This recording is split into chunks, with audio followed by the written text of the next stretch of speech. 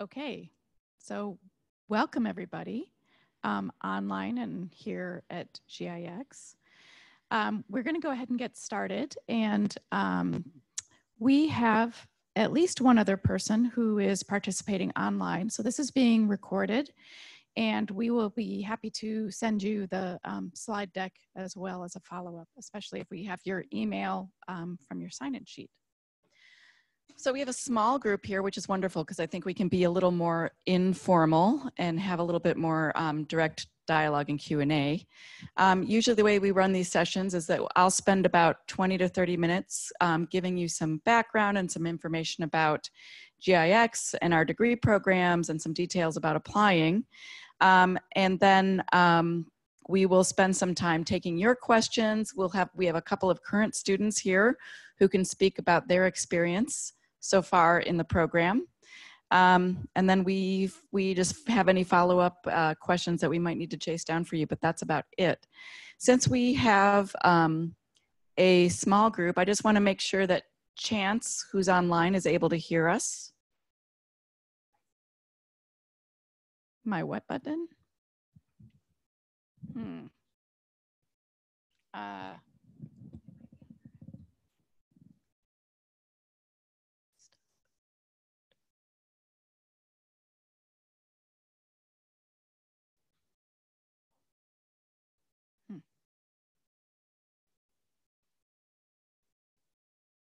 Nope, it shouldn't be. It should be okay. Is she able to hear? So Chance, what I would say is I'm sorry if you're having trouble hearing us. Um, if uh, fiddle with your uh, settings on your computer, if you can't hear us, we'll have a recording we can send you. Um, okay, so we will dive in. Um, before I get started, actually, we have almost as many GIX people here as we do visitors. So I'm going to do just a very quick informal round of introductions so you can see who's who. And when at the end, we can break up and be more informal for Q&A. So I'll start over here um, with my colleague, Blake Hannaford. And Blake um, is a well-known, long-standing, impressive professor in computer or electrical engineering at UW and has joined GIX um, in a focused role. So he'll be heavily involved in, in particular in the um, technology development courses and projects that we do here at GIX. Um, Dr. Yu um, is a, a visiting uh, faculty member from Tsinghua University, and he's been heavily involved in um, advising and mentoring students on their thesis projects, which I will talk about later. So we have Liao in the back of the room, has joined us as a recruiting specialist. Matt, who um, also just uh, recently graduated from Tsinghua and has come on board in our staff here who are working for Tsinghua but stationed here in um, Bellevue. We then have Leah. Um, she is uh, a program manager for all academic services and student services, so she is the person to talk to with any questions about that.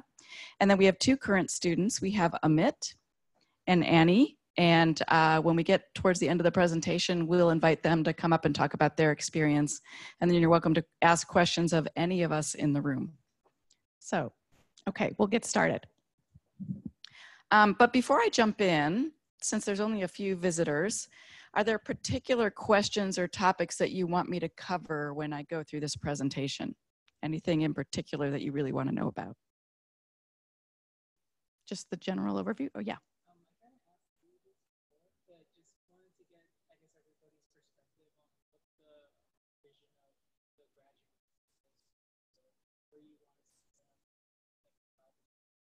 Okay, so sort of the vision and then the five to 10 year outlook for graduates of these programs. Great. Any others? Yes.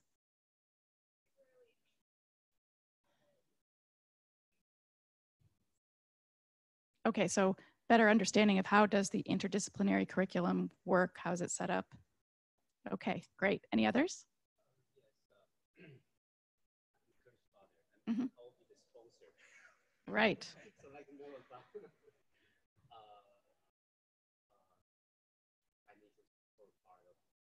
Sure.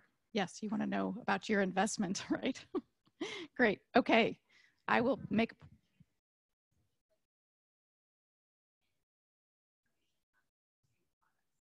Great. projects. Great. So we can definitely do that. And also, I think for Amit and Annie, when you give your um, part of the presentation, you can talk about your launch projects in particular. That would be great. Okay. So good news. Pretty much all of what you brought up is contained in our presentation already. Talk a little bit about the Global Innovation Exchange and what that is. Some highlights about Tsinghua University and University of Washington, um, we'll go a little more in depth in the graduate degree programs that GIX offers. Um, talk a little bit about what we envision as expected career outcomes and paths that our graduates might take. We will touch on admissions requirements and what we look for and who might be a good fit for these type of programs. And then we'll hand over to Amit and Annie to give you their point of view. And then we'll take your questions. Okay, um, so starting out, um, You've probably heard the terms dual degree and MSTI and GIX and Global Innovation Exchange, and it can be a little bit confusing. So, what are these different organizations and terms? Well, the Global Innovation Exchange describes a new partnership between University of Washington and Tsinghua University with founding support from an industry sponsor, Microsoft.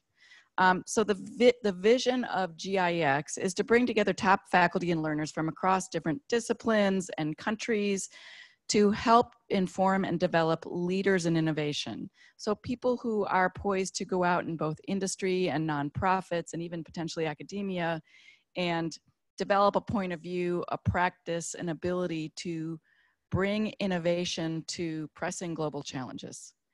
Um, some unique things about the program here. It is a cohort model, which means that we recruit a cohort of students as a group, and they go through a sequence of classes together as a group. They're studying together regularly. And what we find with this kind of model is students learn as much from each other as they do from the formal part of the program, right? So um, these guys are probably learning a lot from their peers that we're, they're working with on projects every day, people coming together from different countries, different cultures, different backgrounds. Um, in addition, we integrate industry mentors and sponsored project challenges. So we have, we have two things that we do. We um, have developed a mentorship program where we have a database and network of mentors who sign up voluntary on a voluntary basis to spend time helping students with whatever topics they're most interested in that the mentor might have expertise in, whether it is a particular technology skill or domain like conversational UI or machine learning, or whether it's just about how do I write my resume? How do I get a job?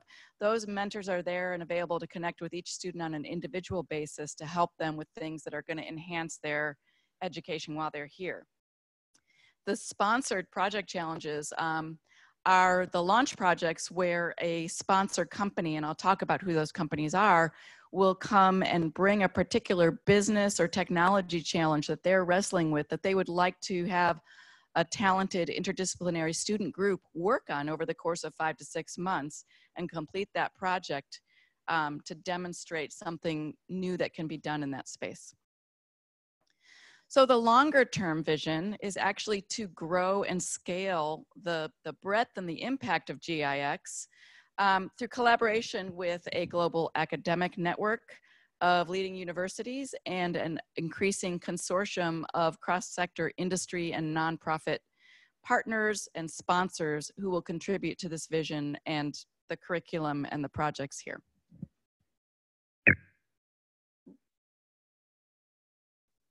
Too many computers. Um, so just really quickly, I'm not going to go into these uh, these details, but if you look up, if you look into the reputation of Tsinghua University and University of Washington, what you will find is that they are both consistently top ranked universities in their countries and globally, in particular in specific relevant topics, engineering, innovation, social impact. Um, and they both have an incredible network of notable alumni.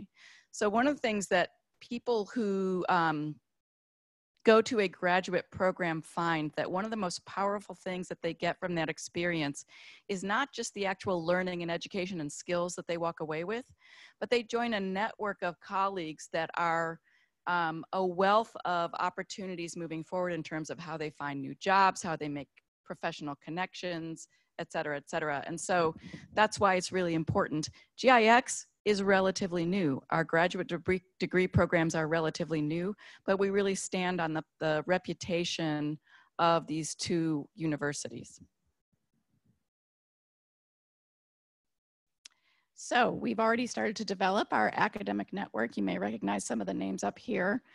Um, we've initiated a few different projects with um, these universities. So we did a summer program this year where we invited undergraduates from these universities to come and do a two week intensive boot camp here this summer. We have faculty visiting and we, we, our goal is to have faculty visit from these institutions and come as visiting faculty and help deliver the curriculum and work on projects with students. Uh, so stay tuned. There will be other projects and activities that we do with this group.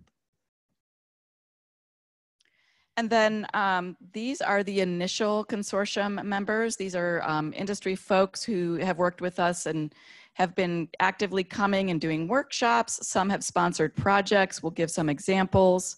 Um, AT&T really wants to look at how do we get people to come in and have an engaging experience in the retail environment in terms of um, products and services.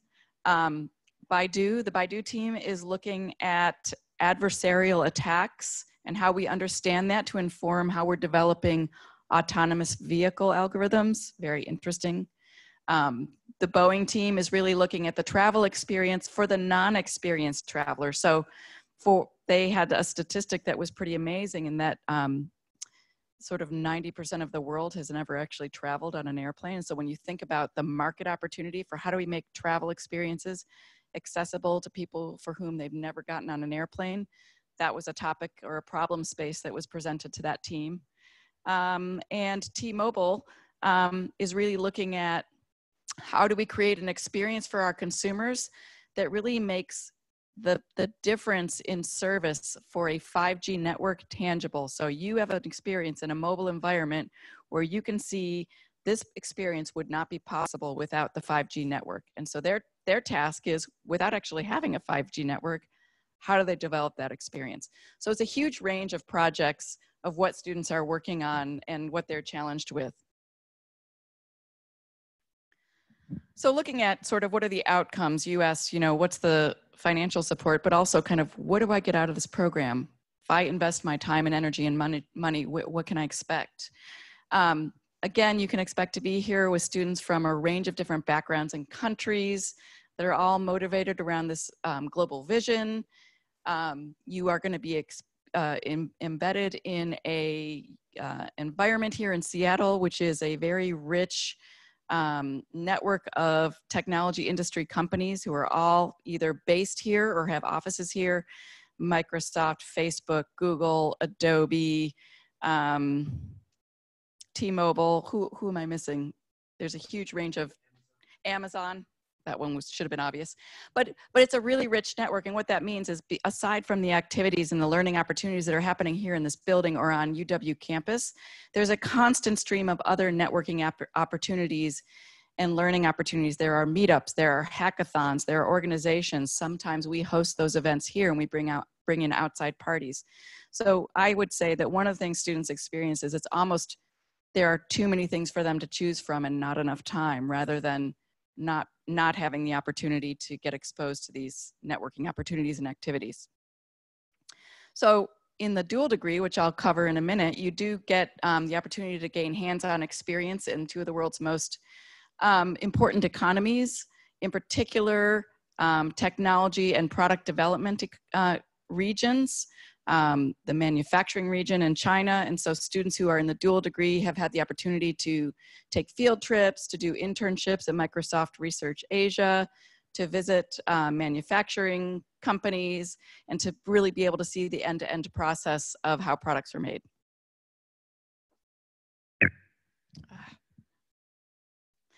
Um, so, I'll, so there are two degree programs that we will talk about. One is the Master of Science in Technology Innovation. That is a five quarter um, master's degree offered by UW. And then there is the dual degree, which includes the MSTI, but also is completing six months of study in Beijing, China at Tsinghua University. So I'll talk about each of those options. Um, the MSTI is offered by UW, and uh, you asked a little bit about what, why is it interdisciplinary? What does that mean? How does that work? So universities are typically organized by departments or colleges that are a particular domain of study, uh, computer science or uh, mechanical engineering or business, right? Those are organized by schools. And so when you launch an interdisciplinary degree and you really want to draw from many different groups, essentially we are borrowing faculty from all of those groups. So those groups are our sponsoring departments and they lend expertise in developing our curriculum, what our learning goals should be. Um, we borrow faculty from those departments, so leading faculty from those departments come and teach here. Um, and so for us, uh, the five departments that we work with are computer science and engineering, electrical engineering, human-centered design and engineering, the Foster School of Business, and the School of Law. So we are drawing faculty from each of those groups. And we had an interdisciplinary faculty group, meaning represent, representatives from each of these departments that contributed to defining our curriculum and deciding what needs to be taught and how do these subjects and these projects fit together.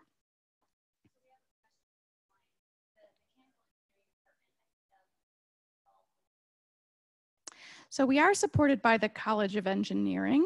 Um, more broadly, I don't think we've had mechanical engineering faculty teach yet, but certainly that is an opportunity. There you go. so, yeah.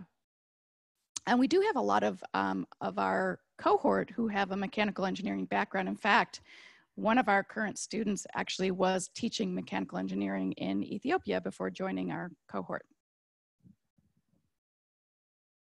Thank you for the question.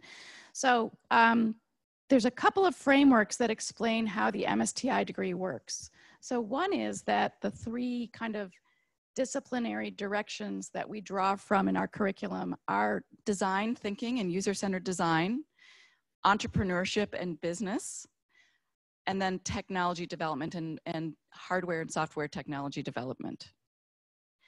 Um, within that, um, I'm actually going to jump around a little bit. So the second framework to think about is prepare, practice, launch. So another structure to our coursework is you prepare, you you learn fundamental knowledge in these areas or you add fundamental knowledge. You practice, you apply that knowledge on a course by course basis to a focused project in that particular subject. And then launch, launch is really the synthesis of what you've learned.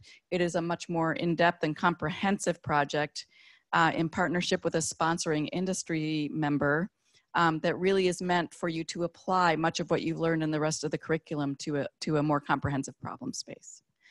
So then if I go back, so within the curriculum, both on a course level and then on, on a major project level, you have the opportunity to practice solving these meaningful problems and make an impact. You can take risks. So you know, we have, for example, hardware software lab where students start out at the beginning of that quarter and they articulate a goal for a prototype that they have to build over the course of that quarter and demonstrate that it works. But along the way, and I'm sure you both felt this, you make small mistakes or failures to, to, that you learn from and then you iterate and then you improve or change what it is you're trying to develop or prototype. So this is a safe environment to really experiment, to build prototypes, to evaluate them, get feedback, and then improve them and make them better.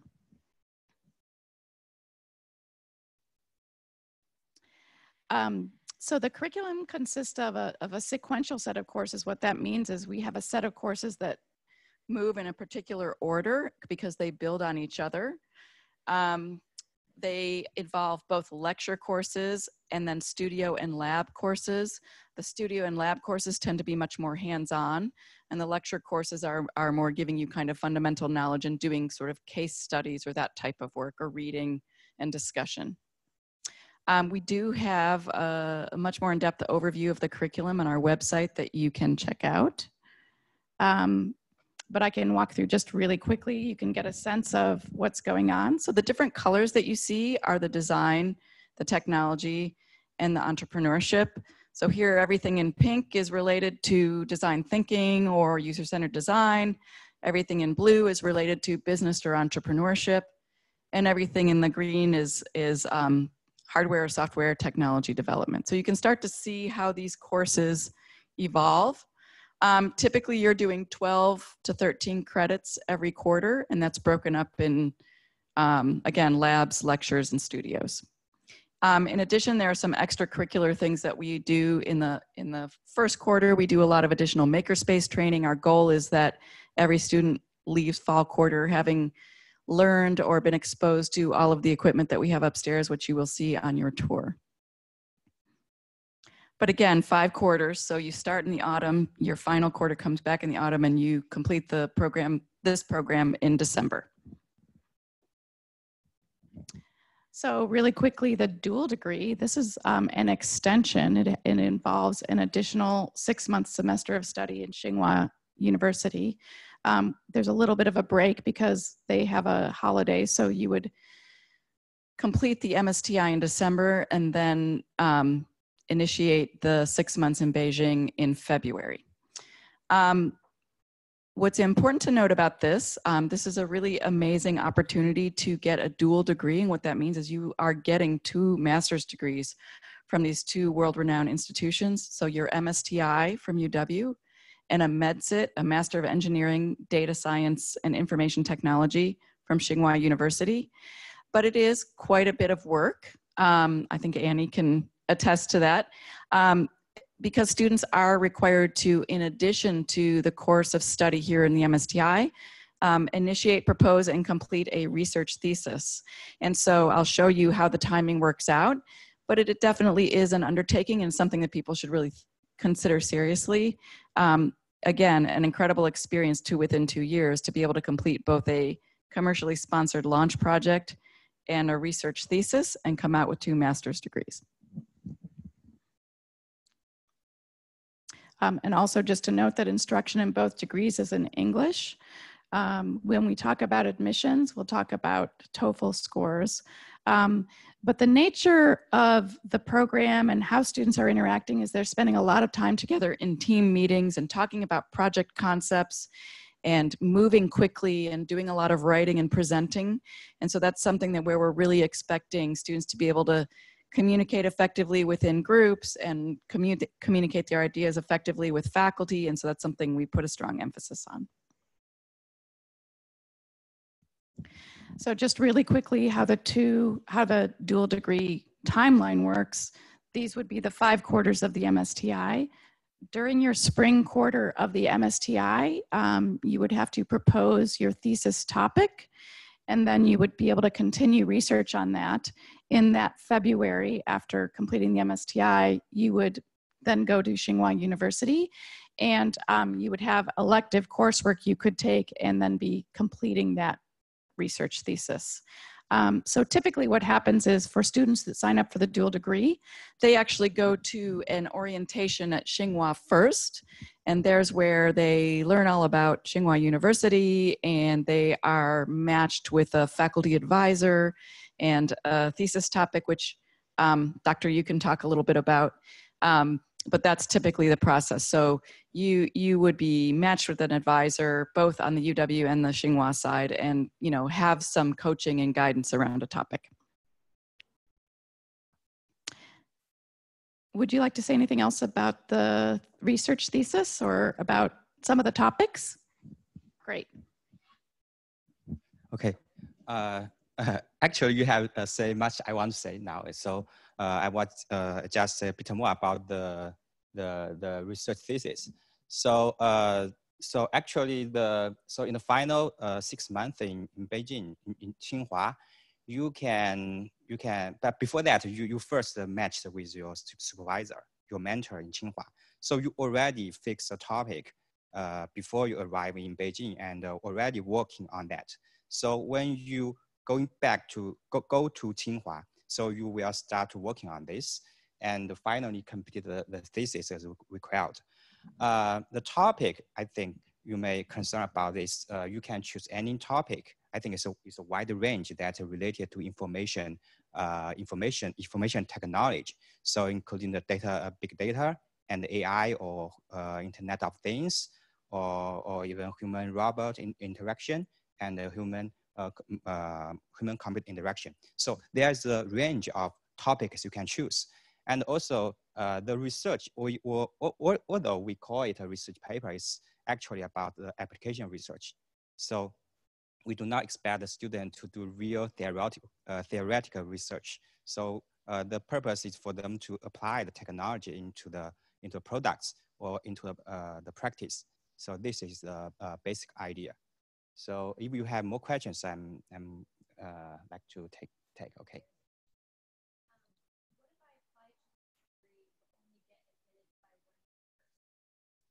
By, by one? Yeah. yeah.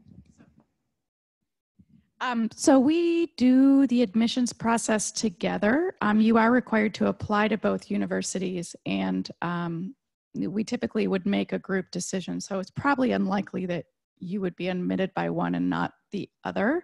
Um, but theoretically, let's say UW admitted you to the MSTI, but Tsinghua did not, not admit you to the dual degree, you could still come and complete the MSTI. And my assumption would be that if you did not get admitted to UW, that you could still go and complete a, a full MedSit degree at Tsinghua. So the MedSit, um, there is an existing uh, master's degree through Tsinghua called the MedSit, And the, the dual degree is actually a version of that.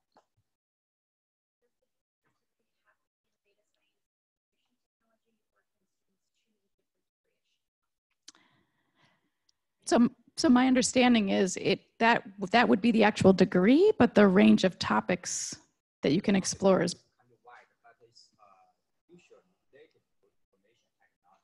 Yeah.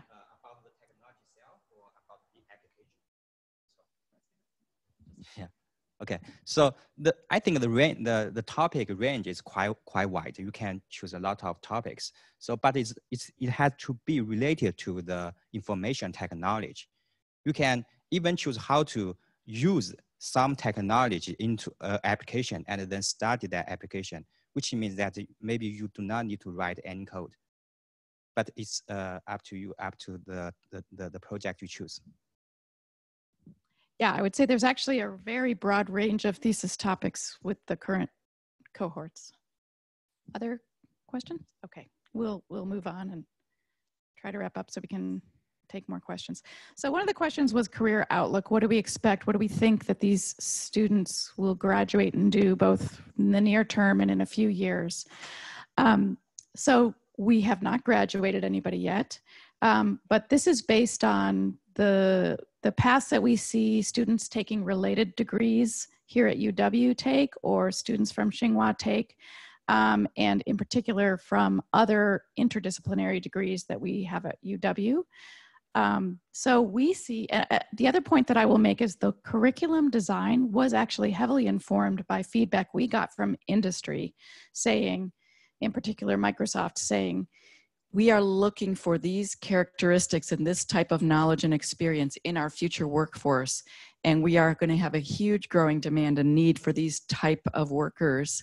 And we want you to help us prepare that. So that was a heavy, heavy influence in the vision of GIX and the curriculum in particular, which leads us to believe that these are the career outcomes we think people will have.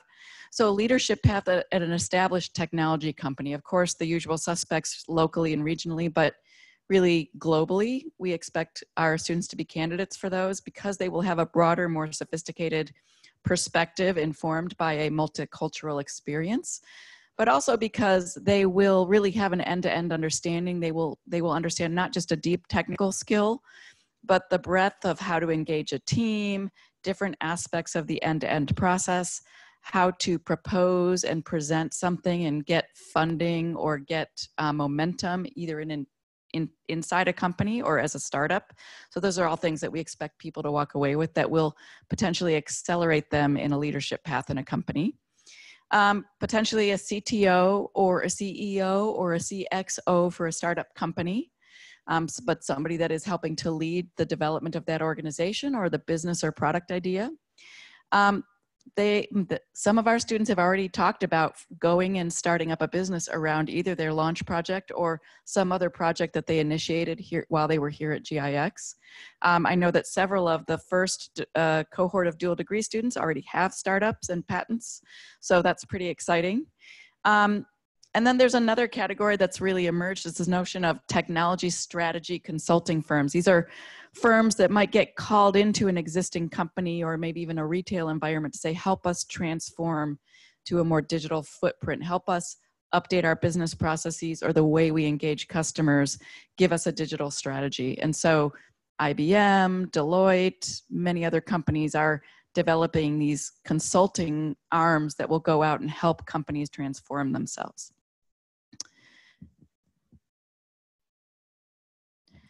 So we're getting close to the end.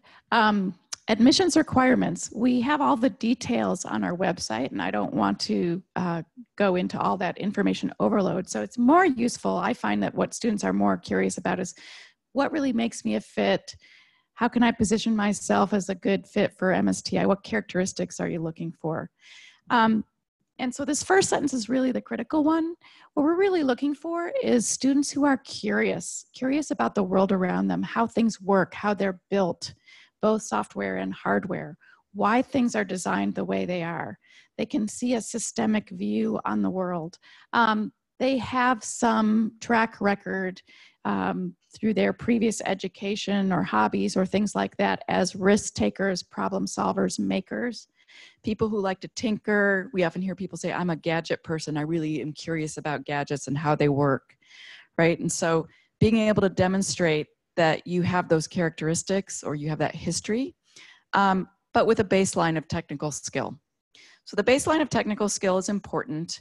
Um, at least two computing courses or evidence of software programming abilities, some college level math. That's important because um, we have technology development courses, hardware, software lab, sensors and circuits. These courses do contain or require some programming skill, some ability with math, and we have found that students who come in who don't have that really struggle. So if this is something that you don't already have in your background, Leah would be happy to point you to some resources. There are many, many um, opportunities, online courses, free courses, things that you can do to kind of brush up on those skills if you don't already have that. Um, our application deadline is typically mid-January, so January 21st. Um, and there are many more details on our website, but we'd be happy to take questions about application or admissions. So with that, I'm going to hand over to Amit and Annie. I don't know if you want to just come up one at a time and and um, it would be great if you could just talk about what were you doing before, why did you choose GIX, maybe a couple of highlights of your experience here so far. Thank you. So uh, my name is Amit Anand, uh, and I'm from India. Uh, I did my undergrad in information technology, and then I worked there for two years Firstly, I joined as a trainer, and then I worked for Microsoft uh, Windows and Office customer representative team via Convergys. Uh, then I joined MSTI, and my main motive to join MSTI was uh, I didn't want to limit myself towards a particular course or towards a particular field. Apart from technology, I wanted to learn business ethics as well, uh, fabrication, prototyping, corporate and IP law, IP law, and i'm very happy that i have gained those skills already. Uh, apart from that talking about the launch project that we are working on so the last two quarters they are dedicated towards the launch project. For the six months we work for we work with our consortium companies. So i'm working with t-mobile and uh, so we have signed non-disclosure agreements so i can't talk a lot about it. But just the overview is uh, so we are working and we are developing uh, an ar app that will leverage and showcase the power of 5G. The 5G is uh, still to come, like hasn't it's gonna launch in 2020. Uh, apart from that, I'm also interning as a technical product manager in a startup that's based in Kirkland. Uh, yeah, that's pretty much it. And uh, apart from that, apart from studies and work, I'm a national cricket player, so I've represented my country and under 19. Thank you.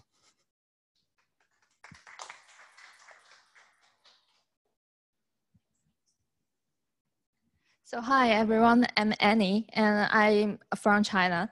So before joining GIX, I'm an undergraduate student in Tsinghua University and I double majored in mechanical engineering and business administration.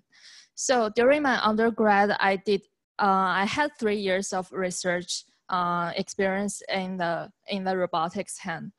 So um, in that experience, I applied for several patents and they were actually applied to the manufacturers. And I, I, I, I really like that feeling that I can use my kind of technology to make a real impact. So at that time, GIX um, exists. And then I feel it's a quite kind of suitable, suitable program for me because it's, it's also um, brings in the both insights from industry and academia to make real impact and solve the real world uh, problems. And in GIX, I really, um, I really like those interdisciplinary training, even though I had my uh, degree both in mechanical engineering and business before.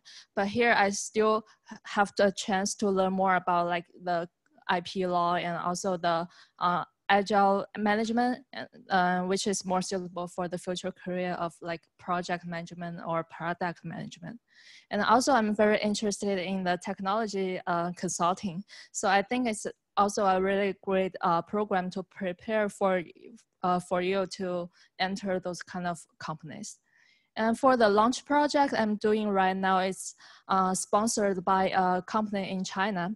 It's doing an ERP software uh, in China, which is specialized in the fashion industry.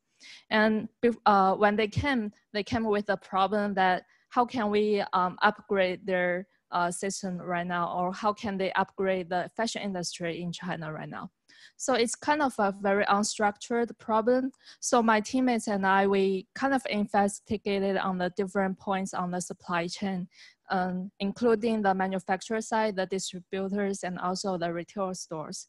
And before we end up with the project that we are doing right now is about the data science doing the sales forecasting for the uh, for the clothing. And we actually we did some smaller smaller projects on the manufacturer side like to automate their piecework the process of piecework. And also uh, we applied the IoT, the RFID technology to the retail stores. We uh, we can use those kind of IoT technology to monitor the popularity or the sales of the clothing in the stores. And that's uh, most of my experience. Thanks. Okay.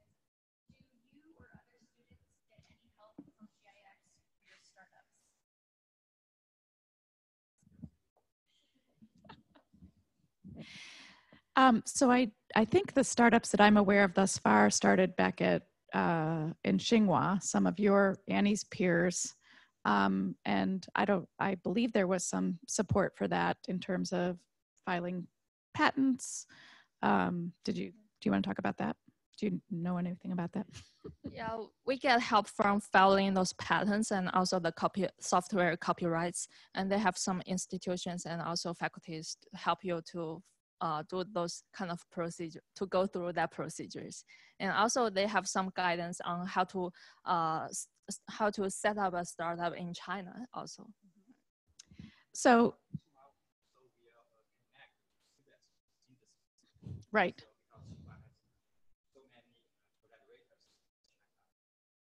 Yes. So i think yeah so so um in terms of both universities, one core um, opportunity is just to connect students and teams to external sponsorship resources, opportunities to move forward with their projects. Um, one of the things that I will say is because we are in our first cohort, there's a number of questions and opportunities that arise in this first run through that we're still working on. Um, this question has come up if there are launch teams that get traction and really want to be able to move forward? Are there resources and incubation opportunities that we might be able to provide? And that's still in discussion. I think we're still trying to figure out what makes sense what might be the needs how can we help students take those projects and pursue them beyond their time at gix so stay tuned on that one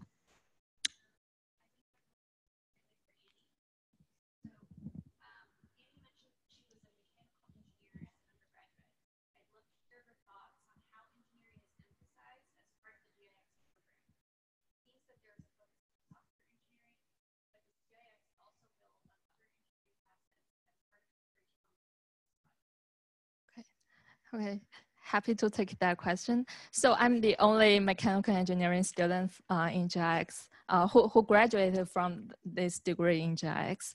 And uh, I found it very useful when you are doing the prototyping classes in GIX, because there's a course that in uh, in the spring quarter that we we need to form into a group of three to four people to do a kind of physical prototyping class, and also you have uh, you can you can get to help others on those on, on your own skills. And also you can learn from other industrial and uh, designers uh, to improve on your mechanical engineering skills. And also one of the reasons that I want to join GIX is that I think I need to learn more about the software engineering. So I, uh, I get another chance to learn more about those uh, front end coding or back end or machine learning. Yeah. I would just add that we have two um, successive hardware software labs, and those courses are explicitly meant to have students be prototyping and building and making both in hardware and software and learning how to connect and how to make the physical form interactive three dimensional hardware form and also to develop its behavior through software. So, so we do really try to connect the hardware and the software in this program and build that into the curriculum. Other questions? Um, just really quickly, I wanted to note um, who to contact if you have questions for admissions or other things about the program for both Tsinghua and University of Washington. Um, and before we move just full on to more informal Q&A, um, definitely please keep in touch with us. And, and there's lots of activities going on here. And so we try to keep a steady stream of social media.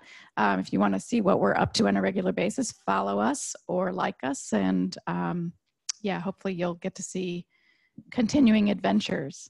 So we have a brand new cohort starting next week. They're showing up on Wednesday for orientation. And so we will have for the first time, two overlapping cohorts in the building working together. One group that's finishing up their launch project and graduating in December, and the other group that's just beginning their journey here with us. So it's going to be a very exciting time. So with that, we'll open up to more informal questions for any of us that we've introduced. Um, in particular, for those of you online, if you have questions you'd like to get answered before we wrap up, it would be great to hear those.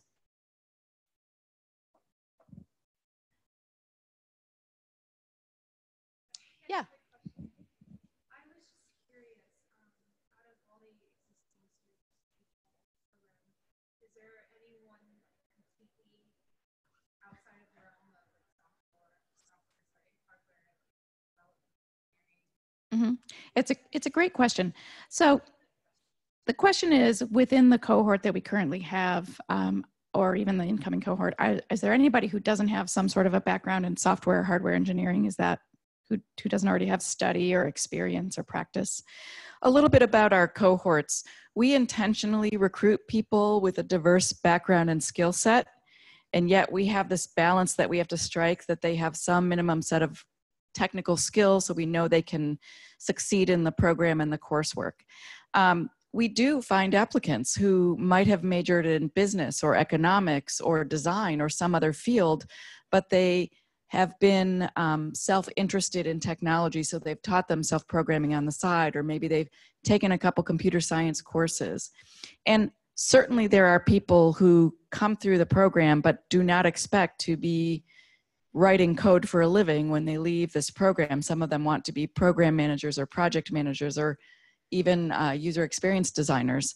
So, what I would say is you want to make sure that you have the baseline knowledge and skill and understanding of how software is developed, how it's built, some hands on experience. Um, as long as you have that and some ability in math, you should be fine in the program. And we certainly don't want to limit it so that we are only admitting people with an engineering background. We really do want to embrace multiple skill sets and different perspectives because those teams are what make the most interesting projects. Yeah.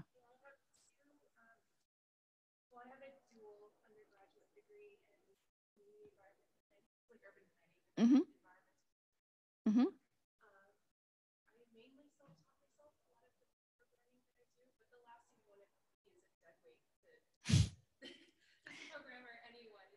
Right.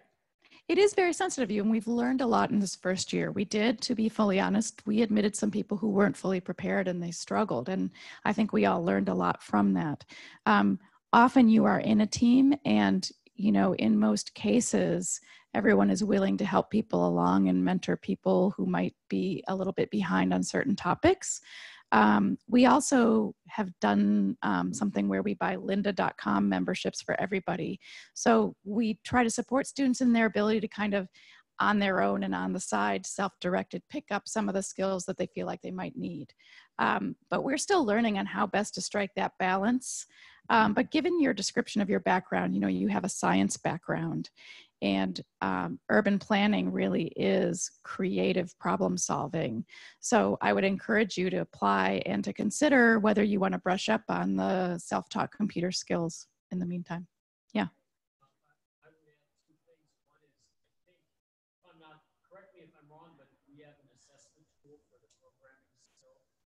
We we have implemented an assessment for anyone for whom it's not obvious what they're that they meet the prerequisites. Yeah. So. And also, um, uh, a major component of the program is launch project, which uh, in the teams, uh, there's no expectation that everybody is the same. Right. So, you know, people, of course, in the, in the courses prior to the launch and leading up to it, everyone has to do well in everything. But uh, in the launch team, people Sorry. Here, you just want to kind of summarize what you were saying. Sure.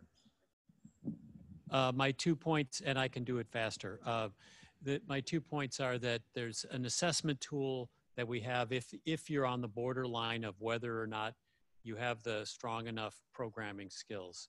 And the second thing is that in the in the launch team, which is a major component of the program, it's not expected that everyone masters every piece of the technology in the launch project to the same level. So we expect that a mix of people contributing in different ways to the launch project's success.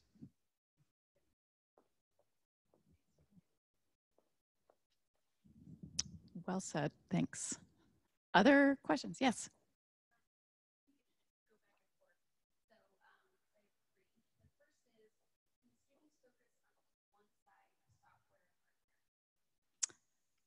Um, well, at a minimum, again, we expect everyone to go through the courses and, you know, meet the learning objectives and get exposed to different things. To Blake's point, within the context of a particular project, you might focus your role more heavily on one or the other, but you would need to be exposed to both and complete group projects and team projects that have challenges in both areas.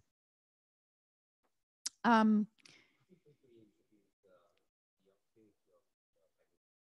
yes, so um, graduate education is expensive in the United States. Um, and GIX is no different. Um, we, because of our uh, industry sponsorships, we actually enjoy the ability to offer significant scholarship support. Um, typically, that is awarded on a merit basis, and all applicants are considered for that.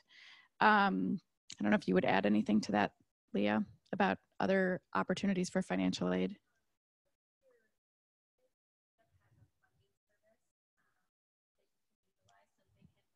Sorry, so once you're admitted and are looking for funding, um, UW helps admitted students find different scholarships and um, grants, but I would say it's more useful to look at those beforehand. So we have one Fulbright scholar who has a full ride in our program this year, and there's a lot of other opportunities because um, sometimes if you wait until after you're admitted, a lot of those are already taken.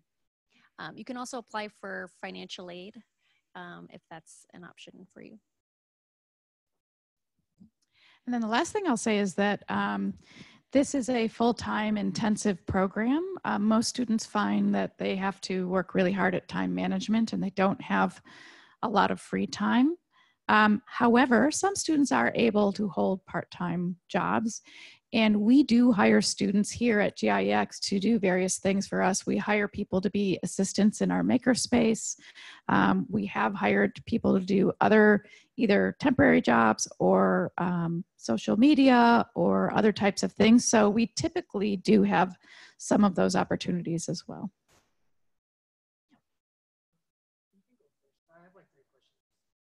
Did you? Okay.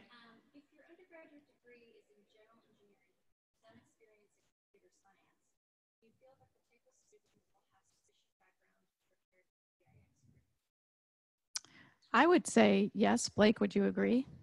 A general engineering undergraduate?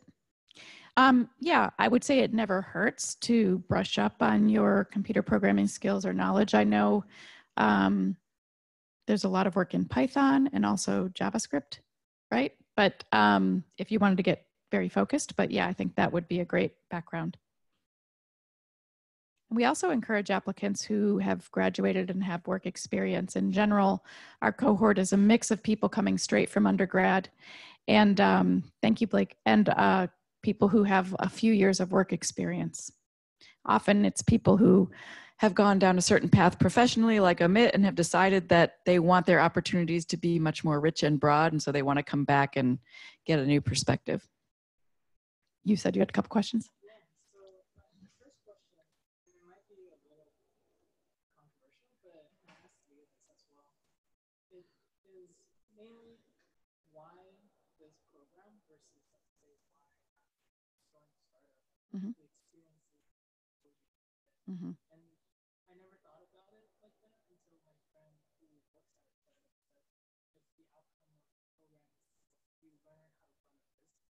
become Great question. Um, certainly that is also an alternative. Um, I would, there's a couple of things I would say. One is, do you know, pardon? Oh, sorry. So the question was why not just go work for a startup if the outcome is that you should be prepared to be an entrepreneur and launch your own startup? Why couldn't I just go get that experience and get paid for it, right? Um, a couple of reasons. One is do you does anybody know what the success rate of startups is, startup companies? It's in the single digits, right? Um, so hopefully if you do that, you pick the right startup, right? Because potentially what you could learn is a lot of bad practices and bad behavior and ultimately not succeed. And there are all kinds of uh, blog posts about bad experiences people have had. I'm not saying that to diminish startups. I think they're great. Um, the challenge is if you work for a particular startup, you're going to learn exactly what that startup is about and that technology and that market. And really, I guess what I would say is what we want to, ha- want to happen here is that your skill set is broadly applicable to a range of different professional opportunities. And I would envision you going out and being what I would call a serial entrepreneur, right? Not just a one hit wonder. Um, so I think you'd be more likely to have those types of lifelong opportunities if you have a broader, uh, more rigorous exposure to what you're trying to learn. I think also most startups um, they're going to ask you to wear a lot of hats. And I've, I've uh, worked with a lot of students who leave uh, a graduate program like this and then go out into the world and get a job. And many of them say, I would like to work for a startup. It seems like a great opportunity. But one of the things I often tell them is, okay, well, that means that you're going to go in there and you're willing to be the expert on what that startup is asking you to do versus saying, I've learned this, I've practiced it, but I have so much more to learn and I want to go to a company where there's someone who can mentor me, who's more expert than me in this particular topic. And so knowing yourself and knowing whether you think, you know, you have enough expertise that you can immediately hit the ground running and be the expert in a very small team and wear a lot of hats or whether you really feel like you'd actually like to develop some skills in a and practice those in a safe environment before you put yourself out there to do that. So that's another consideration. Yeah. Oh, good.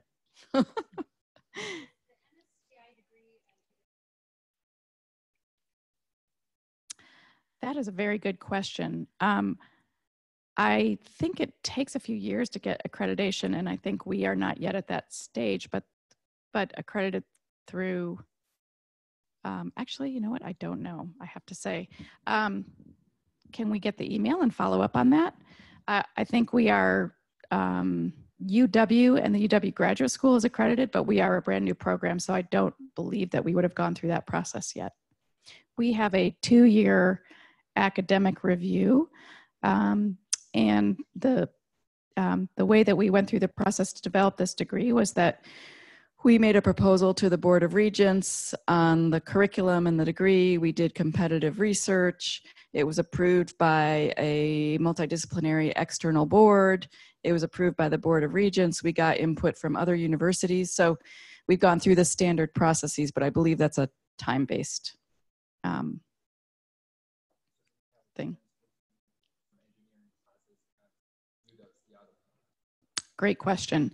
So one of the things that we learned from the first year through is that we had this incredibly scripted, curated, sequential degree program, but because we recruit interdisciplinary people, sometimes we find someone shows up and they already know a topic that we're teaching. And there was a desire to say, well, I already know finance and accounting. I covered that in my undergraduate degree. Do I have to take it again? And so we we starting this year, we wanted to introduce the opportunity for people to opt out of a course that they might already know and swap that and take take a different course on main campus. So that is a flexibility that we've introduced just this coming year. It, depending on which degree you're in, it's either four or eight. So typically what we would suggest with students is that when they come in, take a look at the entire list of courses in the sequence, meet with Leah, determine which courses you think you might want to do that because you would have to provide some demonstration, either a transcript or something to demonstrate that you already have that knowledge.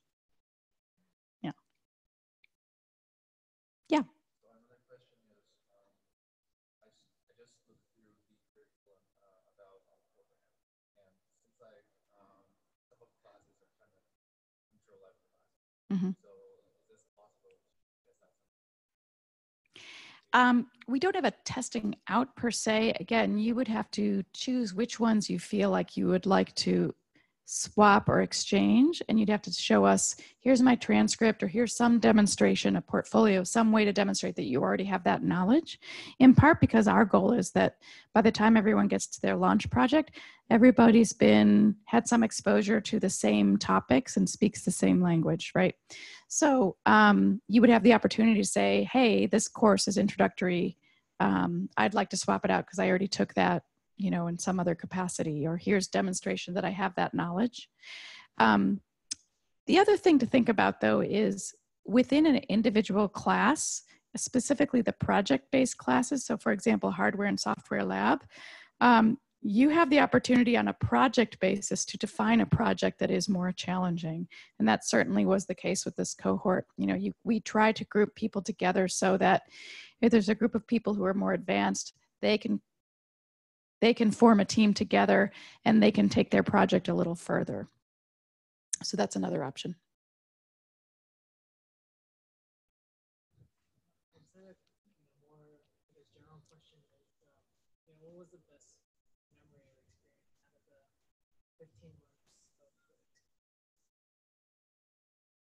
Uh, staying overnight here just to uh, develop the prototyping stuff. So in second quarter, uh, I was working on uh, a smart system that I have to prototype. So we can't purchase it from outside. We have to build it here upstairs. So I spent like more than 50 hours consecutively, like seven to eight days overnight here just to develop that particular prototype. And it's just because the silly mistakes I did. And because you have to, uh, so we use softwares like Fusion 360 or Rhino. And even a single 0.1 millimeter of up and down can destroy the complete prototype. So it took me for 50, more than 50 hours and six, seven days work overnight. And so that's my best memory here. yeah, last day. How many people on your team? Three, three, yeah. Were you all here overnight? No. So prototyping was my part. So I took that stuff. So I stayed overnight. Well, I'm actually pleased to hear that that was your highlight. um, but I'm also guessing that if you were to go build that prototype tomorrow, you'd probably do it in far less time and you'd know all of the mistakes maybe. to avoid. Maybe a day. So that that is really what we're trying to do, right? Is to be able to have you have that um, iterative experience, make those mistakes, learn, and then come out. And to be able to say that in an interview, I think would be very powerful. So.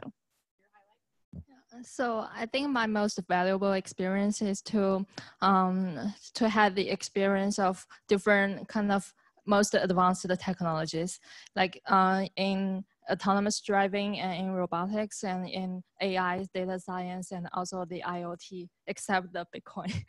so, so I think um, for for other master programs, you don't usually have the chance to explore so many different areas, but in this program, you have much freedom to explore yourself.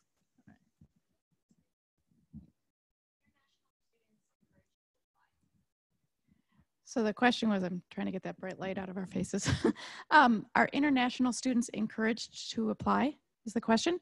We love international students. We're pretty much all international students.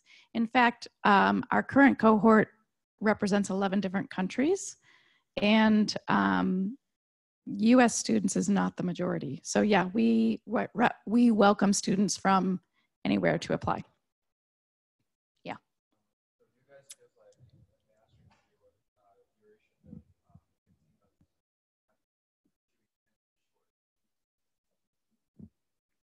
Uh, it's both. So the master's degree, that 15 months master degree is intense or short. It's my perception. Okay. So uh, it's not short, uh, but there's a lot of stuff to learn. Maybe if you want to learn a lot, then 15 month is not 15 month, even two years is less for masters, right? Uh, so I think for me, it's good.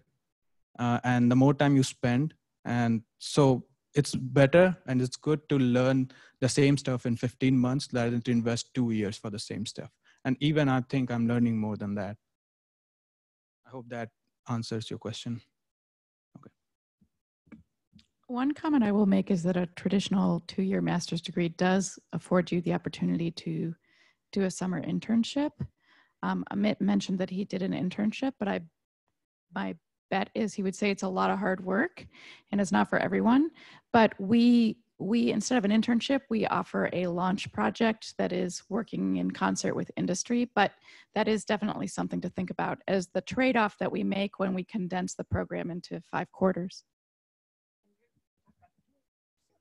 okay so usually um, a master in tsinghua is about like three years and then but now you can have so so my my cohort is it's kind of um, it's uh, special because we reverse the two uh, two education program. Uh, so I spent like two and a half years totally in this program, and I think it's just right for you to um, get both exposure to technology and business, and also the some start or entrepreneurship experience. And also, it's a kind of a kind of quite uh, good fit for you to also explore um, many kind of um, other other stuff of yourself. Yeah.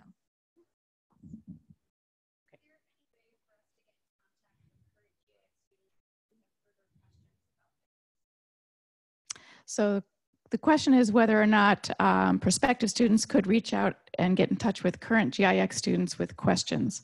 Um, absolutely, I would contact Leah and let her know what you're interested in. We um, often call on our current students to answer questions, and we just want to make sure that we don't bombard them. So we'd be happy to put you in touch. Um, I'm definitely a fan of the best way to find out if this is a fit for you is to talk to somebody who's currently doing it.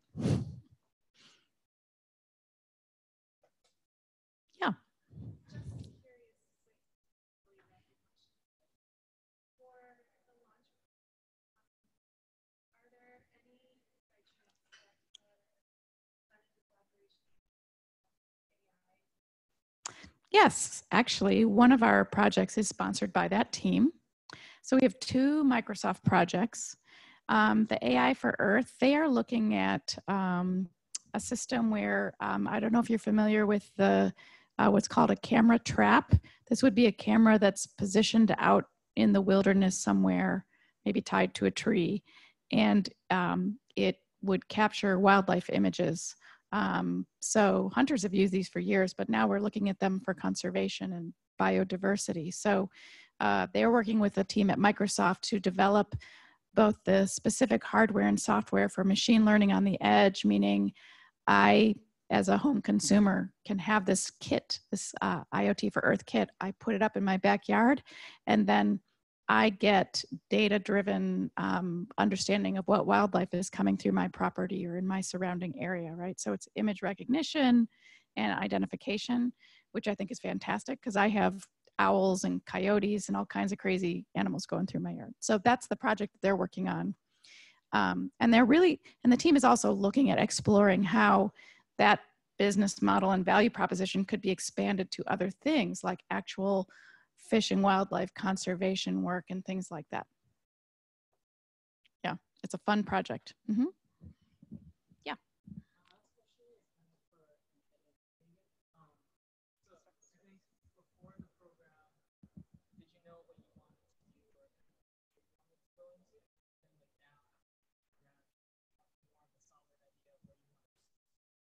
Okay, so the question is, um, uh, do do I uh, know the goal that I want out of the program before or after, right? So, so before the program, I think my goal is to doing some entrepreneurship, to do a startup, and also to or, or to apply some technology into the real industries. But right now, as I'm uh, actually in the period of like um, seeking jobs right now, preparing ourselves for interviews. So it's also a good time to reflect back on your past experience and uh, and throughout this kind of whole experience in GIX, I found out that we are more kind of, uh, you can still do startup, but I think it needs a quite a good team or uh, the right time to really start out right after the graduation. But uh, you can still have the opportunity to, uh, to do the project man management and also the, like I said before, the technology consulting. So uh, my goal wasn't clear. I switched two jobs and I was into sports a lot.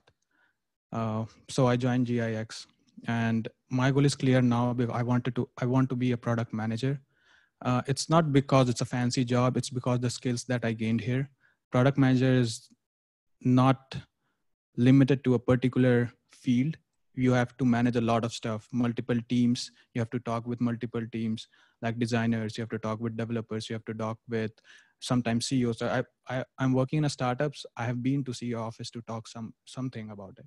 Uh, i've talked with uh, the developers. I've kept the meeting. So now i i do know what skills is required to be a product manager and that's what my goal is for now and that's what i'm pursuing now. Thanks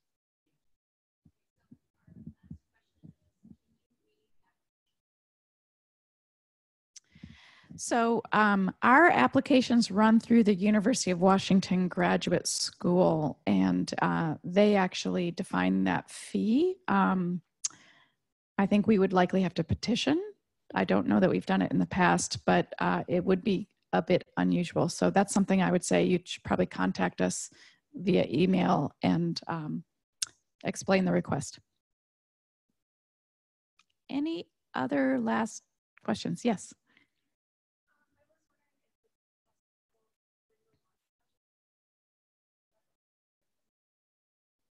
Oh, it's a great question. Um, so we, although we do have research agreements with some of the companies that some aspects of these projects are confidential, we do plan to have a public presentation. And I believe that's currently scheduled for December 7th in the afternoon. Stay tuned and we will post that and let people know what that process looks like. Yeah. Okay. So uh, I believe we're gonna do a quick tour um, thank you so much for your time and your great questions. It's super helpful for us to know what questions you have. And please keep in touch and reach out to us if you'd like to meet more students or if you have any other questions. Thank you. And thanks to everyone online.